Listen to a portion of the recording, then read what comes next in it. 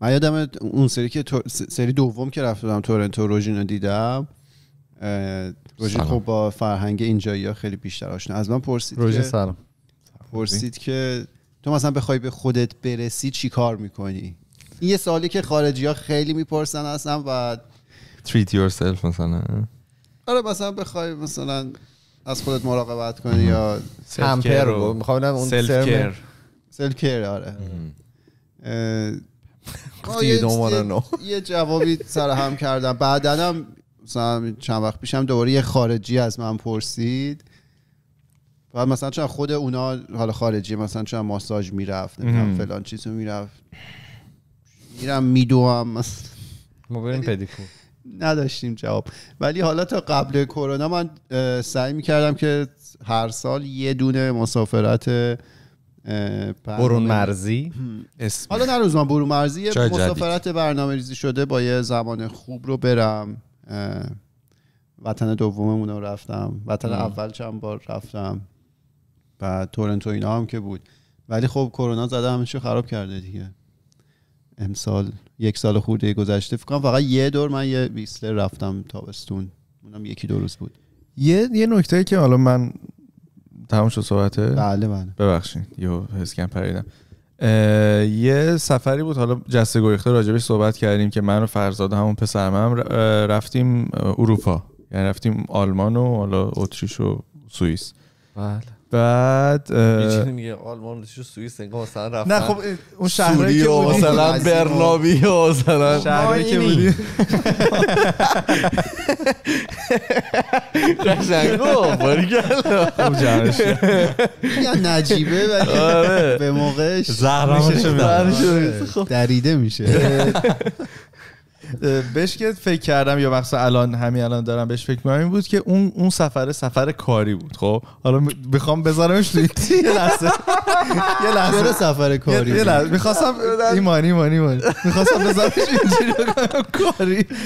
من می‌دونی کی بدم میاد؟ که دستشو شل باشه. هر چی توی این خود گذاشتن دست شلتر رو مختر. برای من خوب اینجوری. آره سیف باشه مثلا یارو تلاش می‌کنه ولی مثلا دستش شل.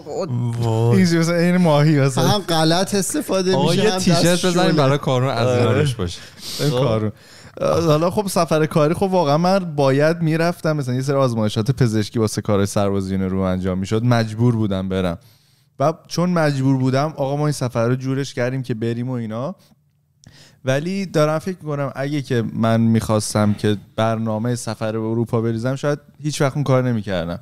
چون یه جبر. آره. چون یه اجباری بود با یه اتفاقی میافتاد اوکی آقا مثلا هماهنگ کنیم برنامه‌ریزی کنیم بودجه بهش اختصاص بدیم بریم. ولی الان تو خود مثلا دیگه حال کرونا هم که شد اصلا حال هوا همه چی تغییر کرده. نمی نمی‌بینم که آیا اون موقع اگه همون تایم بود برنامه سفر مثلا این چند تا کشور رو میریختیم. این حالا غیر جبر آموزش و چیزم هست دیگه. من نسبت به خودم رو دارم میگم. اینطوری آموز یا مثلا برگردیم به صحبت مدیر ایمان توی چیز توی استرالیا. من, من مدیر خودم تو محل قبلی همینطوری بود. یعنی من خیلی تعجب می‌کردم. مثلا من می‌خواستم اضافه وایسم اینم گفتم آقا برو این کارته دیگه سه که تعطیل میشید ایمیلت هم چک نکن. ولی من اینطوری بودم که نه خب غیرت کاری چی میشه؟ ما وایسیم و اضافه و اینا.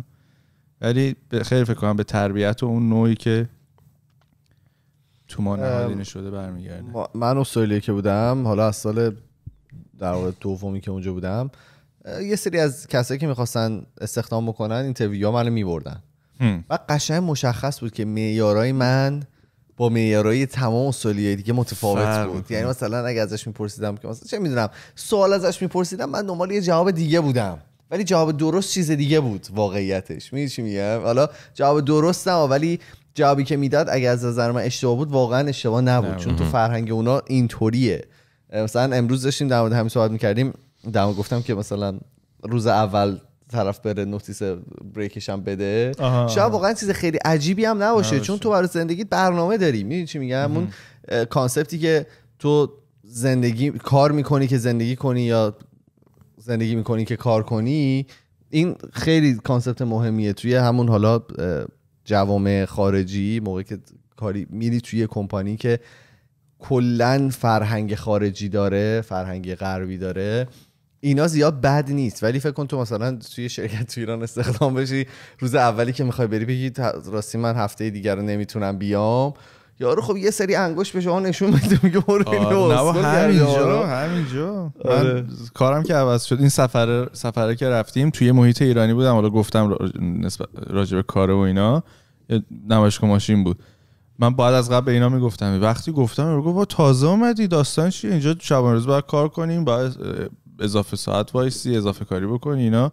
کاملا میگم اون فرهنگ خیلی خودش جای مختلف نشون میده. چیزی که من دیدم اینه که مدیرای غربی یعنی مثلا آمریکایی کانادایی حالا تو تجربه شخصی من اونا خیلی به این قضیه احترام می‌ذارن که آقا ویکند تو برای تو مثلا عصر پنج و شیش به بعد دیگه لزوما تو نباید جواب کسی رو بری خیلی پای بندن به این قضیه. چون خودشون هم این کارو می‌کنن. از اون به بعد برای خانوادهشون اصلا کار و اینا چیز نیست. چون به خودش داره احترام یعنی می‌خواد که تو هم آره. همین treatment رو نسبت اون داشته آره. باشی. ولی تو تجربه من من دیدم که متاسفانه مدیرای شرقی اینطوری نیستن. حالا شرقی می‌تونه ایرانی باشه هندی باشه چینی باشه.